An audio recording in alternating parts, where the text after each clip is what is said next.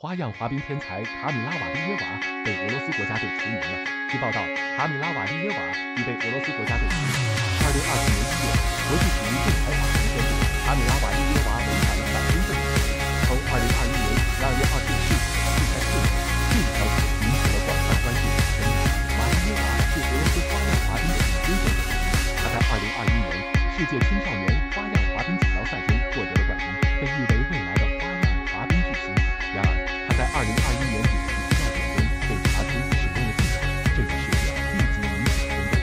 调查和听证会，国际体育仲裁法庭最终裁定他违反了反兴奋剂条例，并对其进行了禁赛四年的处罚。这意味着瓦利耶娃自仅将错过2022年北京冬奥会，还将持续未来两年的国际比赛。